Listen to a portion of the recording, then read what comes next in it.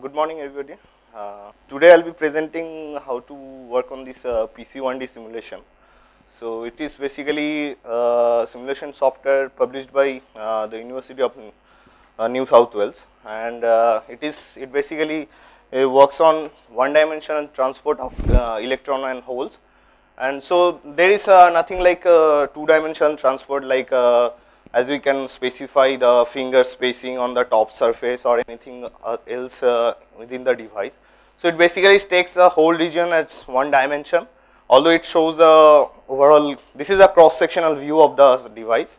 So as we progress uh, in designing the uh, cell we will see how it is happening but uh, the whole thing happens in one dimensional way in the uh, z direction or kind of depth wise. So E is the emitter part and uh, B is the base part.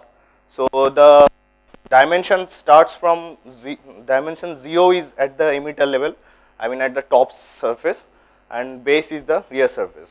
So if you open this file there you will find different parameters to be set here to design the device. So the first thing is like what is the device area. So that will be the top surface, the irradiation, the surface where the irradiation is uh, falling. So we can put it like uh, say if you double click on this parameter you can put the value of the top surface area. So we can put it like uh, 100 centimeter square let us say. So generally for 125 by 125 centimeter square cell you can put 156.25 but here we are putting uh, 100 centimeters for our calculation uh, it will be easier. Uh, on the device area double click on the device area on this point. Yeah. Again all these points will be available on this uh, menu bar. So if you click on the device uh, you will you can also put the area from here. So every option listed here will be available from this menu. Okay? Fine? Okay. So next point is the surface texture so if you click on this texture you will get an default value of 54.74 degree. So this is uh, some kind of uh, assuming some facet model. Uh, it takes uh, this is the uh, angle between 111 and 100 plane. So these things uh, should remain the same i hope. And depth you can change according to your model. I mean if you want to have some deeper uh, surface texture then you can change. Let us put it like uh, 3 micrometer only. Depth you mean the solar cell. yeah the texture height at the surface. Okay yes please. 100 plane. Uh, see 100 is the plane in which atomic density is very high. So when you know how the texturing is done? So yeah that is the texture uh, pattern but how is it done is that uh, you put the wafer in a KOH or TMAH solution where the uh, KOH this uh, uh, KOH or TMAH solution attack the silicon atoms. Now the 100 direction the uh, is the depth wise direction in which the uh, etching of the atom will be very fast. So it will be very deep enough but the 111 plane will be very slow. So it will create a pyramid on the surface. Okay, so that angle is uh, here specified by this 54.74. Now the third point is the surface charge. This is basically, I think everybody is fine with the surface texture, right? Yeah, okay. So third thing is that uh, this surface charge, this is basically important in the other uh, kind of semiconductor devices where suppose you grow a silicon dioxide, yes please. It will be the flat, flat plane surface. If you look at this, let us say, see if, if you select this texture, you can see on the surface it shows a textured kind of thing. If you do not select this texture, it will be kind of plain surface. Okay. So it will not take the texturing thing and the reflectance and other things it will not be there. Sir, only this exposure offset. Either it will be flat or it will be like Yeah, texture. No. Uh, no, it is basically it is uh, taking only the pyramid structure. You can also go in practice. You can also the go for the inverted pyramid like kind of thing, or these are kind of uh, uh, smooth. I mean uniform pyramid heights at every distance. But in actual solar cell, we don't go for this smooth kind of thing. In actual solar cell it forms a random pyramid structure, but those things are not take, taken into this uh, software. So, this is kind of very basic thing for that is why we are taking it is taking only the uniform texture height at every point of the surface. Can a cell be arranged here? So even here. What you are talking about exactly we are not getting. Okay. So if, if it can be arranged physically here, then you can show and point out there. Yesterday we basic, but we have not included here. Okay. Can be arranged fully better, whatever you are uh, speaking, that will be taken by everybody. Yeah, I can arrange one thing, but uh, Cell or module, whatever you are.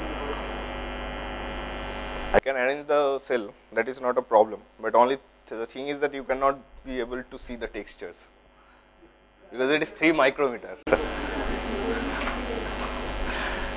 so you will see a plain surface. That's all. Okay. So I am arranging a cell. So let me finish it, and I'll arrange a cell. Then we'll.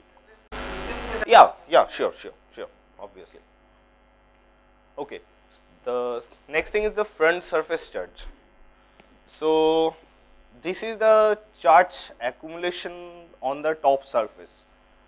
So, this is basically important in other kind of semiconductor devices like uh, where you are suppose growing some silicon dioxide on the top and due to the difference in the solubility of the dopant atoms in silicon and silicon dioxide, there is a charge accumulation at the top surface. If you say some values, put some values like 20 like thing, some arbit value I am putting. So, it will show the charge accumulation on the top surface. So, but in, in this case it is not uh, important since we are growing uh, some kind of uh, not growing some silicon dioxide on the top side. Now, the reflectance, reflectance from the top surface. Here you can put either fixed values or some coating you can specify. Okay. So, fixed values means you can put a fixed reflectance around all wavelength on the spectrum. See spectrum con uh, spectrum for silicon solar cell is from 300 to around 1100 nanometer. But for every wavelength the reflectance is different, right. But here if you put say 12 uh, 10 percent or 12 percent, then it will take 10 percent reflectance for every wavelength from the surface. So, this is one thing and the other thing is that the coated thing. So, here you are assuming that uh, it has a basic reflectance and on all wavelength uh, which is around say 10 percent again. Now, apart from that reflectance you are putting some layer some uh, silicon nitride layer or anti reflection coating layer to minimize the reflection at a particular wavelength. Like uh, in case of uh, irradiation spectrum, the most important part is around 550 nanometer. Okay. So, we would like to minimize the 550 nanometer wavelength, the reflection of the 550 nanometer wavelength. So, there is a formula called, uh, uh, I mean there is a formula through which you can calculate what should be the thickness of the anti-reflection coating for a particular wavelength. So, you can put the refractive index of the coating and you can put the thickness. So, by managing these two you can uh, use the, the minimize the reflection of the uh, particular wavelength. Here is a help menu if you are not understanding you can use that. I think is it yeah actually the OSS uh, OS is either Vista or Windows 7 I think. In Wis- Vista and Windows 7 the help menu does not work actually. In XP it works. There is some file missing for this uh, software. So that does not work actually.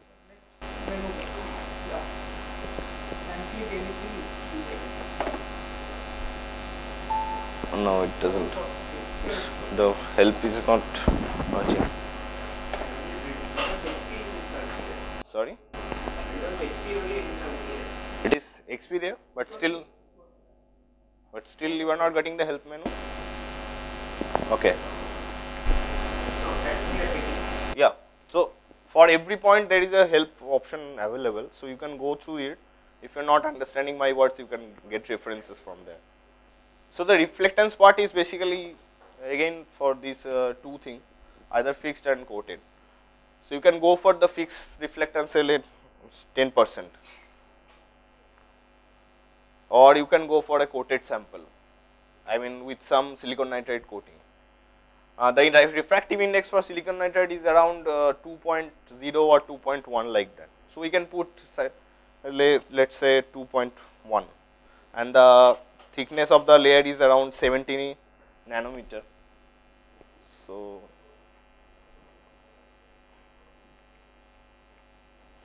and the broadband reflectance we can put again 10 percent. So, both the way you can do it okay. Is it fine? See when we grow the SiO2 it is grown from the top surface right. Now, the top surface is diffused SiO2 grow, growth is done after the diffusion process. So, whatever dopant material is down there on the top surface while the growth process it will also be incorporated inside the SiO2. Now, the solubility of that dopant atom in SiO2 and silicon will might be different. Due to that difference there might be some charge accumulation at the source surface interface silicon and silicon dioxide interface. So, that thing can be taken account here. No, that is not for solar cell actually because uh, in case of solar cell we generally deposit silicon nitride. So, that growth mechanism is not very important. Okay. Then uh, the next thing is uh, exterior ref rear reflectance. This thing you can again put the same thing, but uh, rear reflectance is not generally counted because it is mainly in case of concentrated solar cell where the radiation also comes from the back side. So, I, uh, this is not important for plain solar cell. This internal uh, reflectance, okay.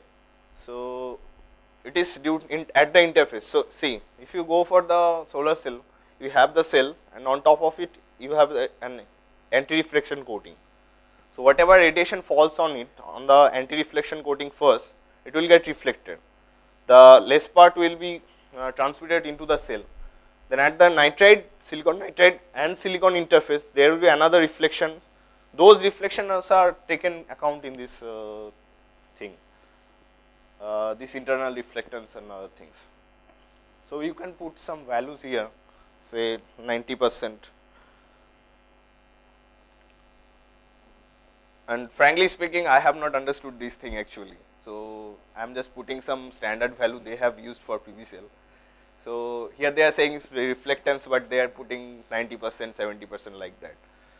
So, I think uh, we will put some stand value which they have used in case of solar cell.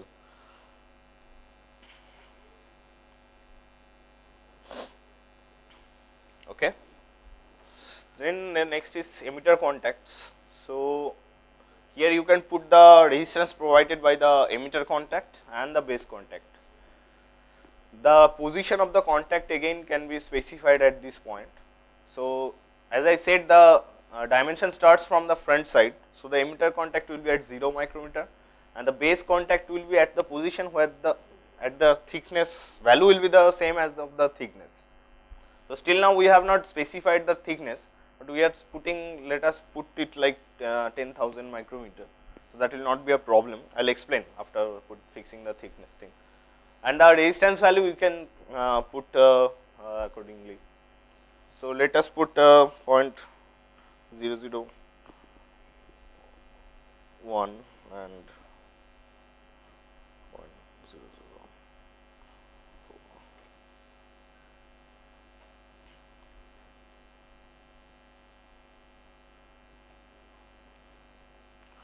Okay. The collector, collector circuit is not important because we are only dealing with the diode structure. So, in case of transistor simulation you might be using this collector or the thing. So, that is one thing and uh, so emitter and base contacts are enabled here and internal shunt elements here in solar cell you will find lot of uh, points uh, which is called shunt point, shunt path or shunt points. So, where the yes previous setting okay. So, it is kind 0.1 milliohm and 0.4 milliohm okay. Okay, so the shunt things there are two majorly two types of shunt in solar cell one is conductor kind of shunt that is kind of ohmic shunts and the other one is diode shunts. So, you can there are four shunt I mean four things you can specify separately. suppose you enable the shunt thing and put a uh, see in case of conductor you have to put the uh, Siemens value the conductance value. So, let us say a shunt is around uh, 200 ohms or 2000 200 ohms let us say. So, 1 by 200 is like 0.05 I think I guess 0.05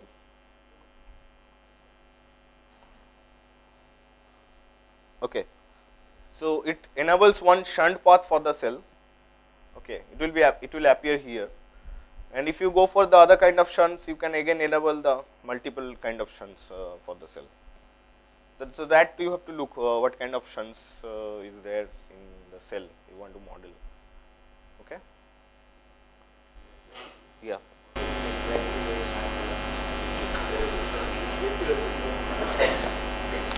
Shunt is kind of see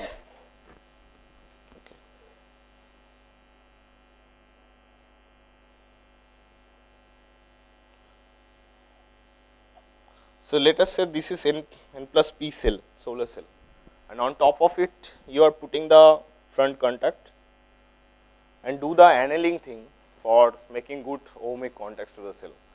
But due to some reason suppose this uh, n plus p is done by diffusion okay. Now during the diffusion you have some impurity on top of it on top of the surface and you did not get such an uniform junction okay. So your junction is like this.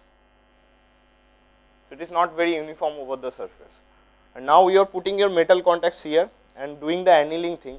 So the metal contacts is penetrating the junction and is again connecting the uh, p type layer. So these contacts are for uh, n type contacts and for back contacts you have another contacts for p, p type okay. Now you have both the contacts uh, for p type the front one as well as back one. So, it is creating shunt, shunt paths for the cell. So, it will reduce the uh, effectiveness of the cell. I've, I mean there are a lot of other things. But so, you can put the shunt values in uh, these uh, okay. So, okay. now the cell thickness generally it is uh, around 275 or 300 micrometer so, put it 300 micrometer. Okay. Now, again I am going back to this contact thing. So, you see here we have specified 10,000, the actual cell thickness is 300 micrometer only. So, you can put it 300 here, okay. but if you put values higher than that, it will automatically take that uh, cell thickness value as the position of the base contact. Okay. Now the material, what material we are going to use. So if you double click it, it will open the set of files uh, for the material. So you can select this uh, silicon dot si dot mat material as the material for the solar cell. Okay. So if you select this uh, silicon material, it will automatically take all these models like uh, carrier mobilities, dielectric constant, band gap, intrinsic concentration, refractive index, absorption, free carrier and p type, no up to this free carrier absorption. So, it will take the default values from silicon for the silicon thing. Okay. If just double click on it, it will open the material files, you select the silicon one.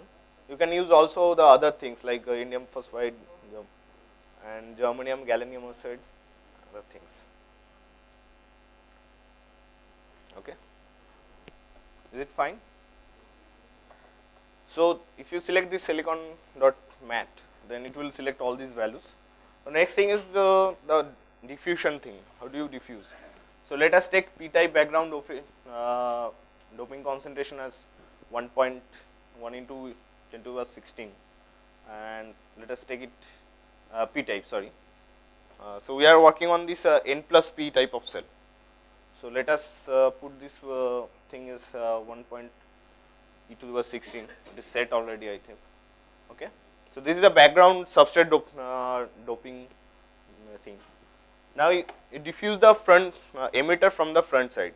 Okay. So, click on this front diffusion there are lot of options available. So, first enable it, now the dopant material will be n type, right. So, now there are different option what kind of uh, profile you want to get. So, basically uniform profile is basically for the ion implantation thing, uh, exponential I do not know frankly. Uh, Gaussian is for two step diffusion and error function is for uh, single step diffusion. Okay. So, you can select this any of these thing and here is you have the peak doping which occurs at the top surface okay. and the depth factor is basically not very understood, but we assume that it is uh, the uh, diffusion length of the dopant atoms. So, if you select these two automatically you will find the uh, sheet resistance and junction depth accordingly. Suppose it is 1.1 e to the power 20 and let us assume it is it to be 0.1. So, it will automatically automatically take the sheet resistance value and the junction depth to be 128 uh, ohms per square and 275 micrometer respectively. If you go for Gaussian it will change accordingly. So, the junction will be around 300 uh, nanometer and the sheet resistance will be like 86.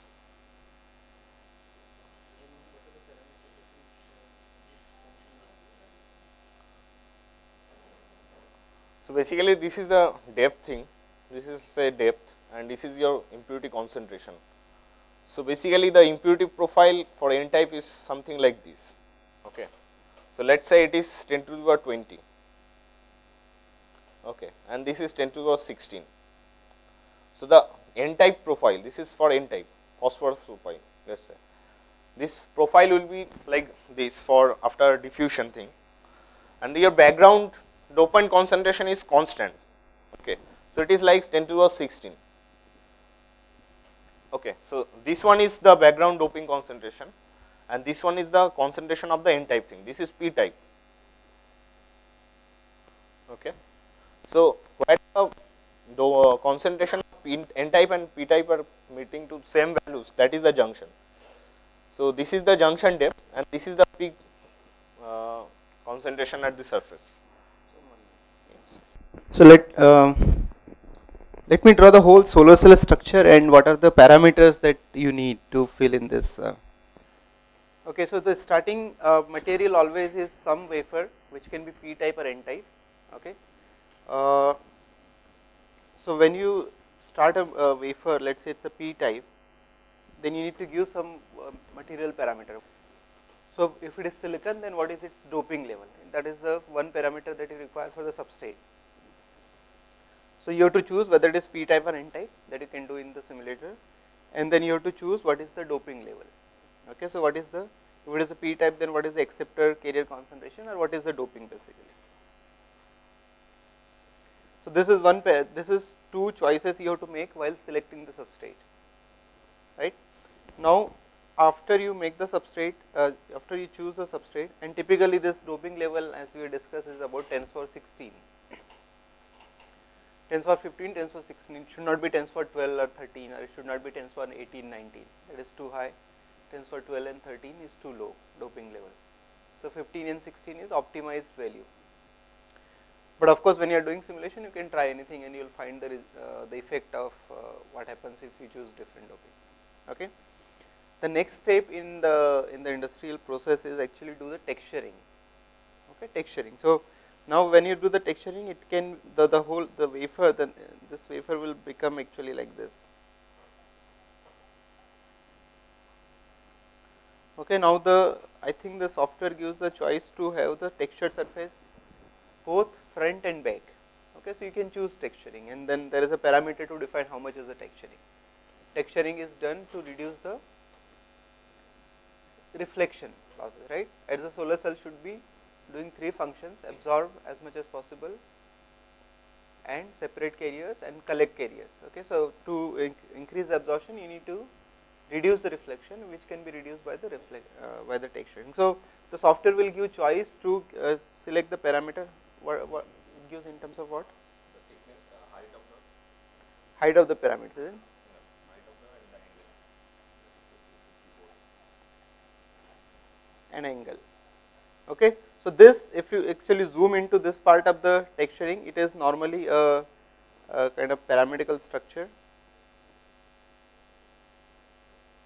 Okay?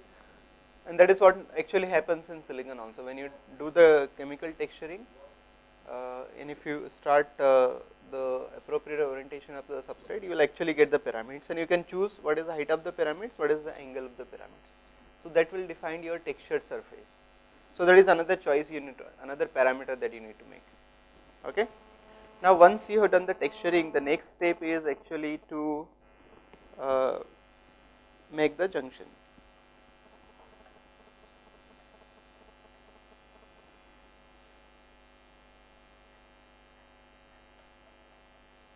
Okay? So suppose this is your so what are the choices you already made by this point?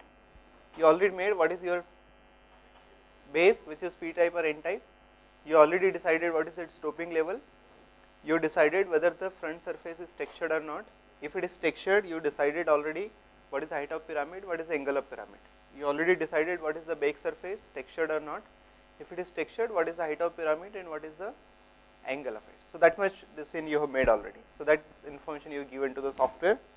The next step is to uh, make the junction. Okay. So, if you are starting substrate is p type of course, your junction doping has to be of opposite type n type right. So, then uh, and the pyramids heights are normally in the range of 4 to 5 micron okay, but your junction depth is very small as I, as I told yesterday the junction depths are typically 300, 400 nanometer, 500 nanometer. Okay, what does it mean? Your junction will exactly follow your top surface like this, because these pyramids are very very large as compared to the depth of the junction, right? And this junction, this uh, region is going to be of N type.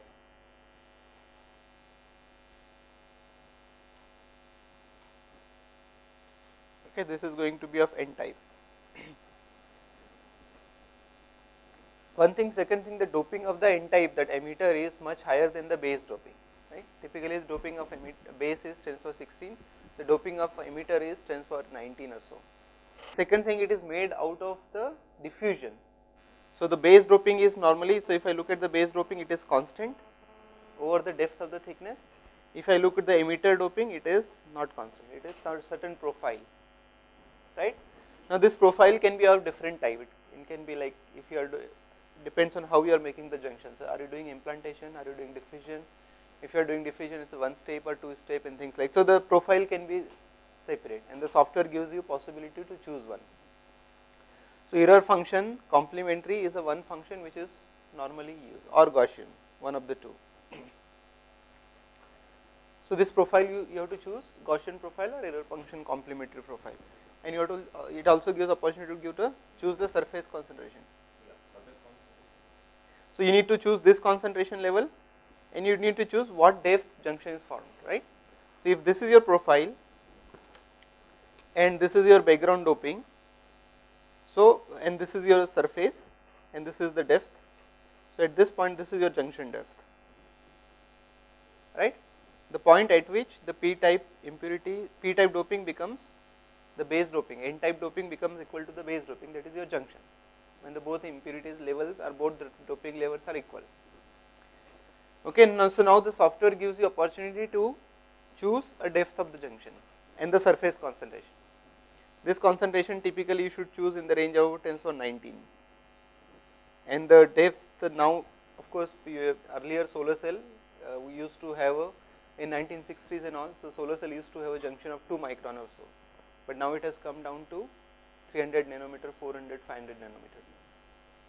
And there are reasons, there are technical reasons for that. And we did not have enough time to discuss. In December we discussed everything, why 300 nanometer, why so, why surface doping of 10 to 19, why the emitter doping is higher than the base doping, all those things there are reasons behind that and we will discuss why, but is not enough time. So, but it gives allow, it does allow you to choose the appropriate uh, uh, junction depth which can be up to 300 to 500 nanometer with appropriate profile of the this one. Can be error function, can be Gaussian. Nobody does the implantation right uh, for the junction making. So it's normally diffusion. So that is another choice you have to make. Uh, So, once you decide this now your emitter is there okay your base is there what is the next what if we should do the next what else is required to make the solar cell complete putting the contacts right front and the back contacts but one more step we need to do before that is to put the uh, as I said there are two ways to reduce the reflection. One is doing the physical modification of the surface that is texturing. And other is uh, putting the anti-reflective coating. Okay? So again you need to put anti-reflective coating and you need to uh, you need to define what what is that anti-reflective coating. It is basically one dielectric material having certain refractive index and thickness and the material so you need to so what what happens you you need to put i am putting a black line here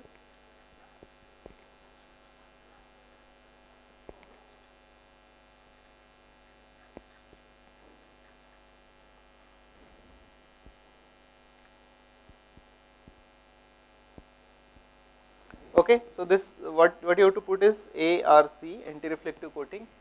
Typically anti-reflective coating uh, uh, because light is coming through the anti-reflective coating it should not absorb anything, it, it should be thin right? Because you want light to go into the solar cell, light should not get, get absorbed into anti-reflective coating. So, typically it should be thin. So, you need to give following parameters, one is you need to give thickness, you need to give what material it is. And also refractive index. And refractive index of the, the layer or you can define the reflectance itself.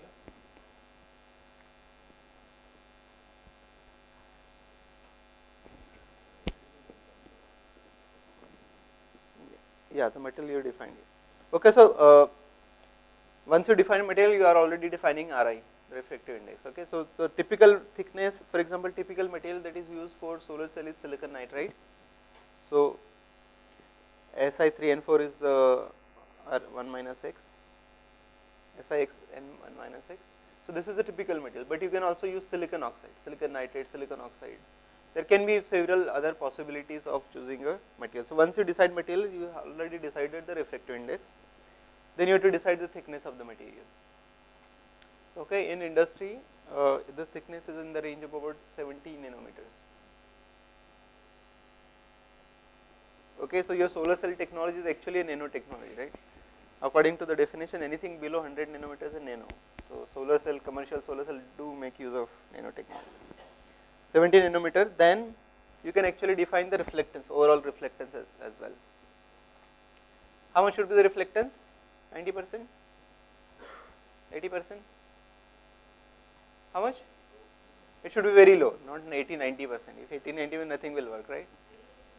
ideally it should be 0 and practically 0 is not possible.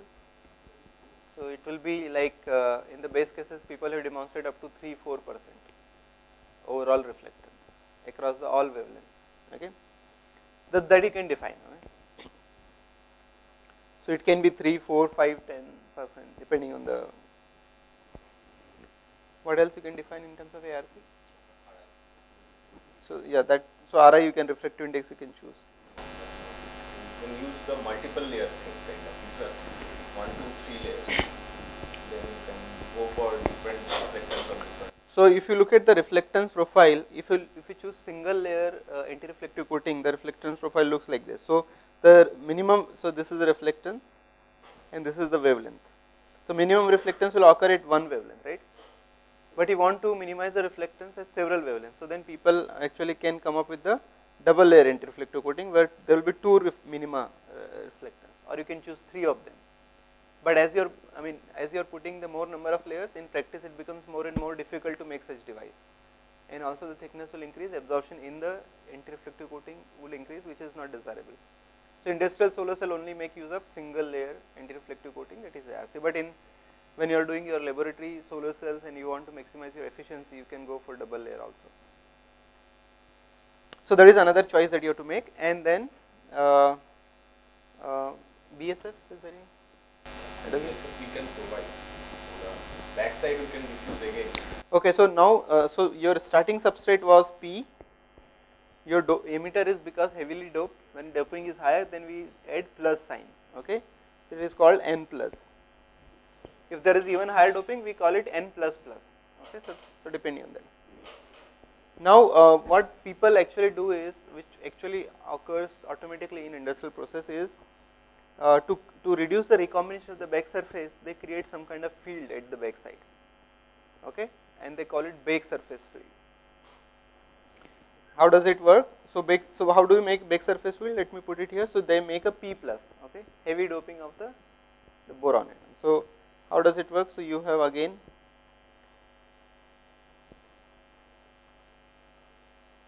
okay, and this region is a P plus region. So, what is your solar cell structure? Not Pn anymore, it is a P plus P n plus that is your solar cell. What is the role of P plus? Let us let us draw the energy band diagram. So, if you if you make the Fermi level and this is your P and if it is P plus Fermi level will be closer to the valence band. So, this is your P plus. So, you have such kind of what do you see here? What as soon as you notice this line, what do you see? Electric field. Lines are not flat anymore because there is a difference in the doping. So, this is your P plus part and this is your P plus part. As soon as you see that lines are not straight or flat, which means there is electric field. If there is electric field, what does it mean? If there is an electron here, it will not go there, right? There is a problem because it has to go to higher energy. So, it is actually repelling electrons towards this side, which is the junction side. So, thus creation of P plus P will create some kind of field which is here and this field will repel electrons towards the junction and we want all the generated carriers to go to the junction so that they can be separated and contribute to the current.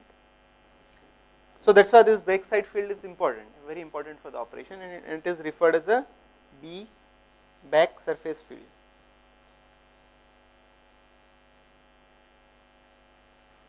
Okay.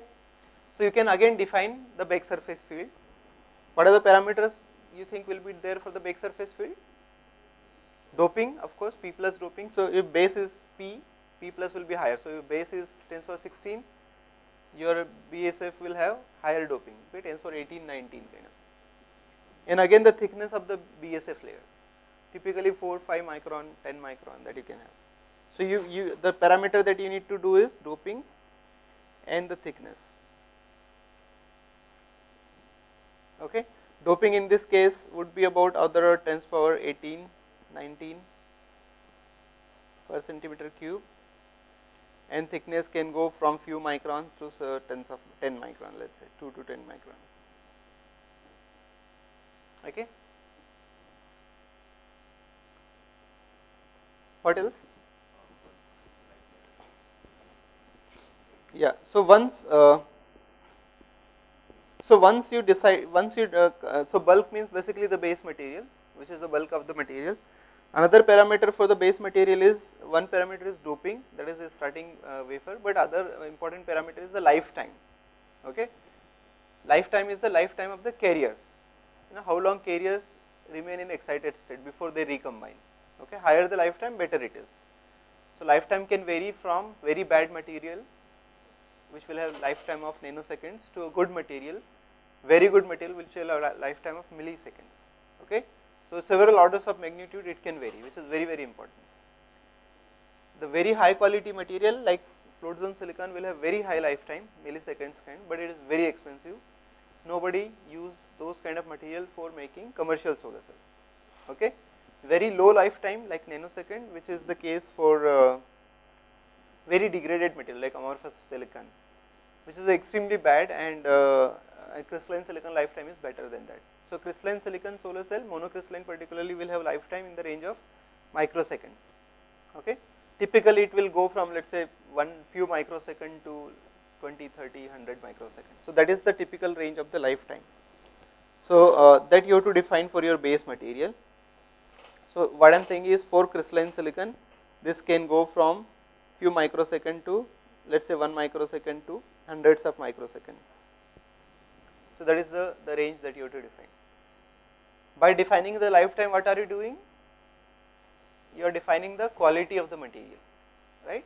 By defining the lifetime you are defining the quality of the material. So, higher quality material will have higher lifetime which means carriers will remain higher uh, spend higher time in the excitation mode.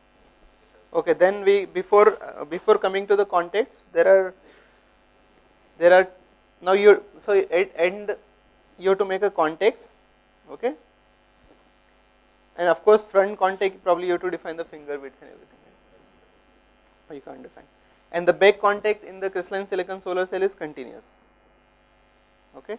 So back contact is continuous front contact is not continuous. Why? Because you need light to get in right? So you cannot make a continuous contact. If you put metal everywhere nothing will go in. So you need to give a space for the light to go in. Now once carriers are there uh, they can actually recombine at three places. They can recombine in the bulk of material. They can recombine in the surface which is the front side and they can recombine at the back side. And the recombination is something we all want right? Oh we don't want. Oh sorry. So recombination is something we don't want right? We don't want anywhere the recombination. So uh, we need to tell this uh, the simulator that what is how much is the recombination taking place? How much is the recombination taking place? The recombination in the bulk has already been defined by the lifetime right? What i am saying lifetime is 10 microsecond which means carrier will not recombine up to 10 microsecond. After that they will recombine so you have already defined it but the recombination at the surfaces surface itself is a two dimensional uh, uh, structure right? The bulk of the material is a three dimensional surface is a two dimensional so at the surface recombination is defined by not lifetime but it is defined by what is called surface recombination velocity. Okay? Surface recombination velocity okay? It's a rate of recombination per unit area at the surface. So the unit of surface recombination velocity will be what? What will the unit of surface recombination velocity? It's a velocity right? So it's a centimeter per second. Okay?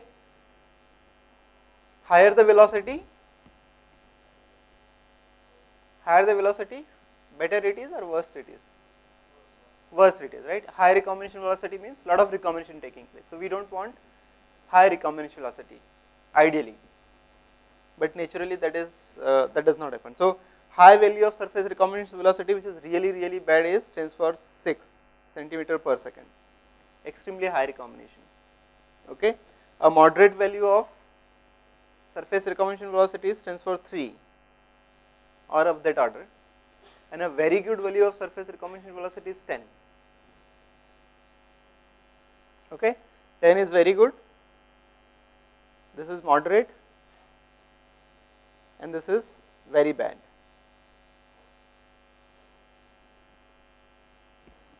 Okay? So by doing the deciding the surface recombination velocity we are defining how much is the recombination taking place at the surface.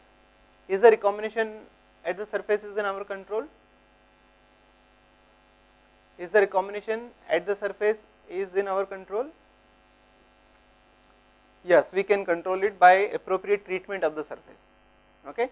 So for example your anti reflective coating silicon nitride is not only a anti reflective coating but is also a passive layer or control layer which reduces the recombination but not extremely effective. There are other ways of doing so your uh, normal silicon nitride layer will give recombination at the moderate level SRV at 10 or 3 at that kind of level.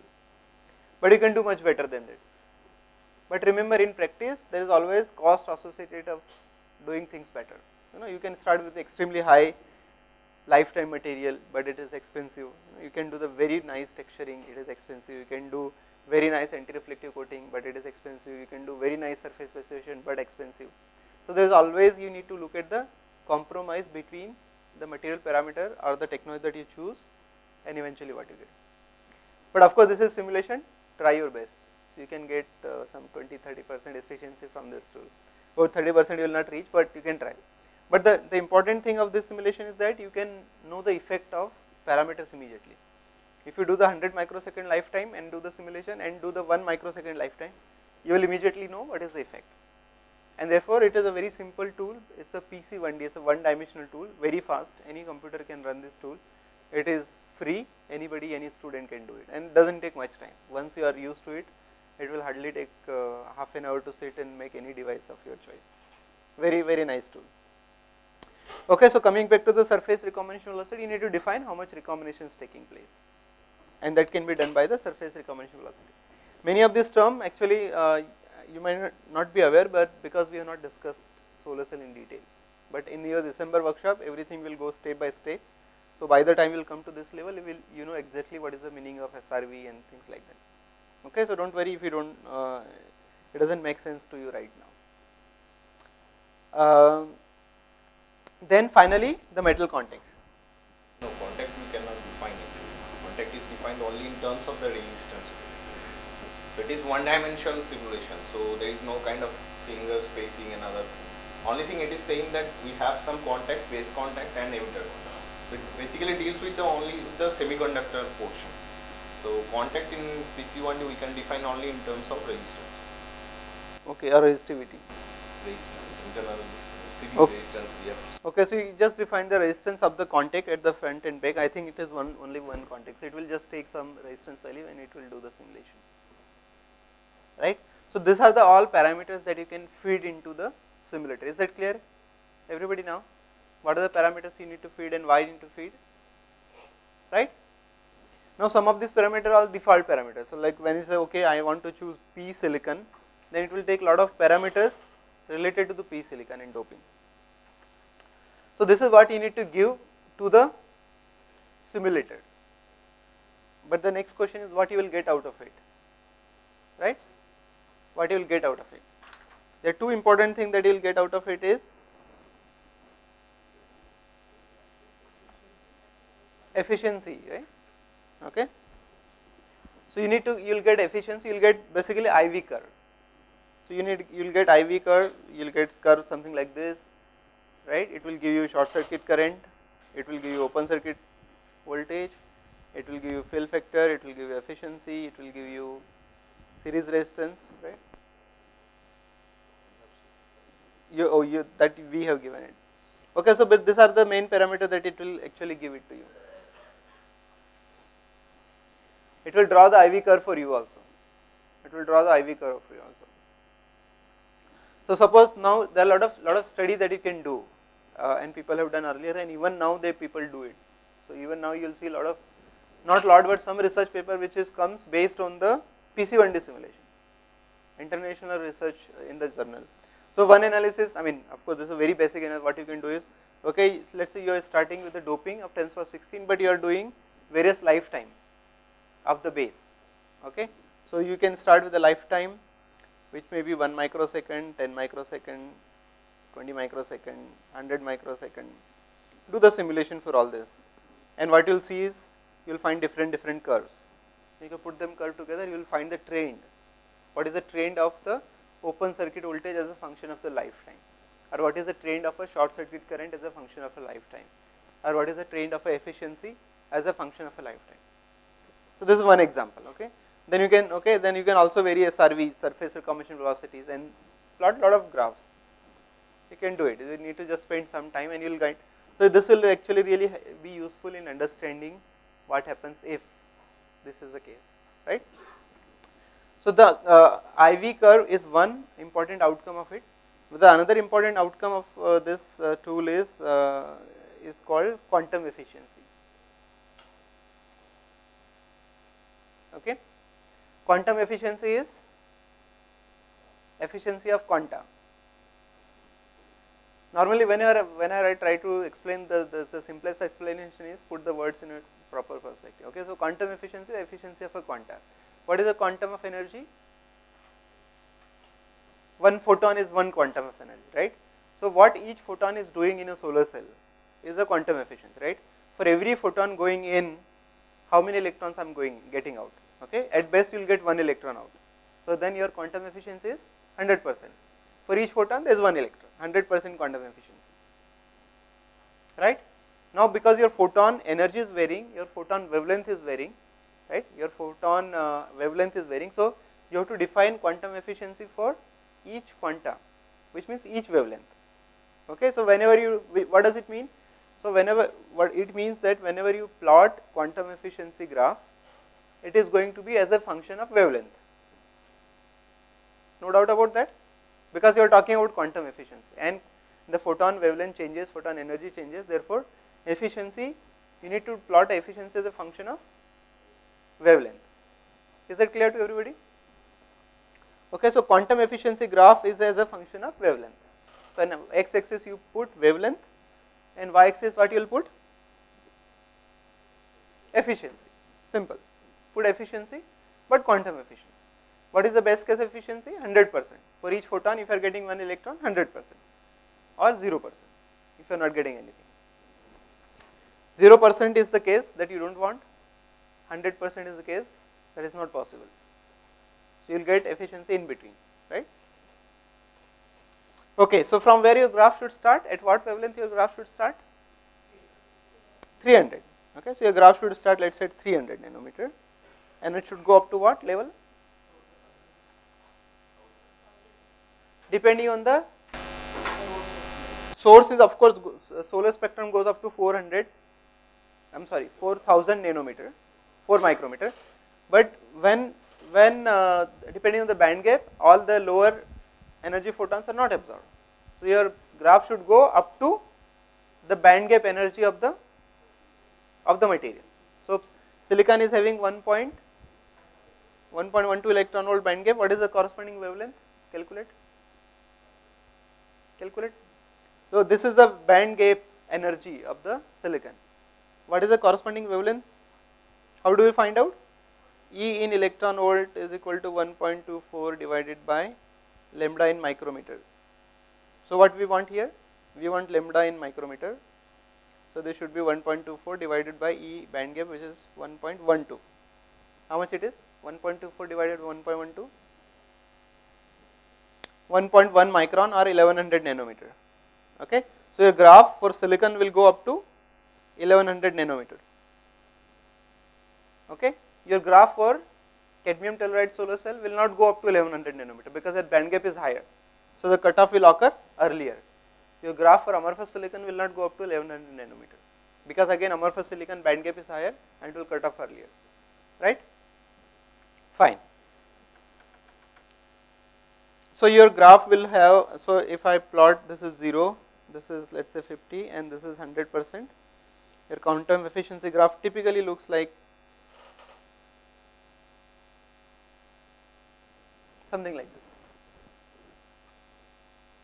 And again for various lifetime, if you plot this graph for various lifetime 1 microsecond, 10 microsecond, 20, 100, 200, you will see immediately the difference in the quantum efficiency graph. How do you see that? So, this is like a diagnostic tool.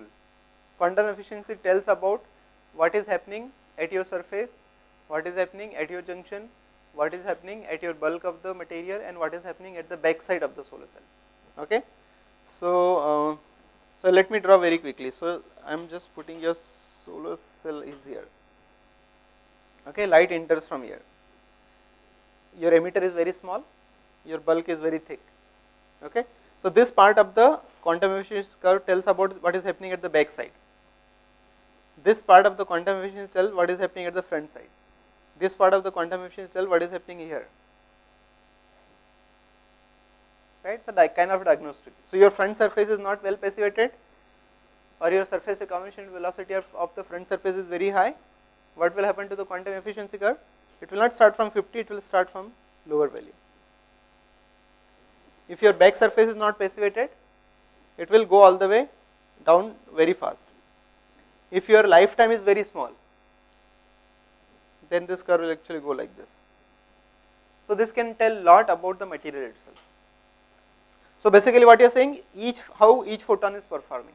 If you take a photon of 500 nanometer, how many of them are successfully getting converted into electron and therefore current, right? And therefore, the quantum efficiency curve is another important curve. Passivation means you pacify. If somebody is really shouting, you pacify. You know, children in, in uh, foreign countries, they use pacifier. If the children is crying, they put something. It them, keep it quiet. So, surface is pacified means what? If without, without surface pacification, surface is very dangerous. It is recombining all the electrons. It is hungry of electrons. So, you satisfy its hunger by what exactly is done is you put some layer. So at surface, so if you look at the crystal, you know the atoms are nicely arranged with each other and sharing the bonds and electrons. And go to the surface, there is sudden disruption, and because of disruption, some bonds are not made. Okay, so they they want electron, and they take electron from all this uh, generated electron. So they kill them.